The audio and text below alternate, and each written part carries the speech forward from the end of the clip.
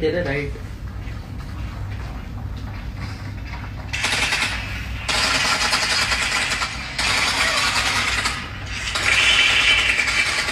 दोस्तों कल first day है एंड आई होप आप लोग भूले नहीं हो कल आपको क्या पहनना है। जस्ट याद दिला रहा हूँ।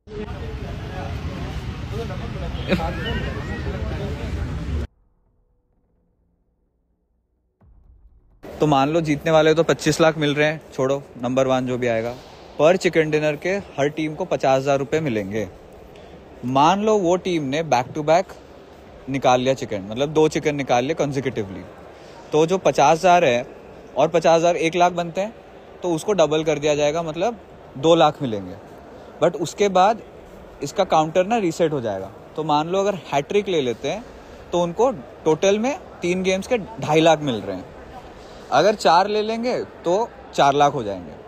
तो that is the funda and for every finish ढाई हज़ार रुपये तो क्या लिखा है? सही में कॉल लिख रहा है? लिखने वाला था। क्या लिखेगा? क्या कर रहे आप? कुछ नहीं। सच्ची वाला।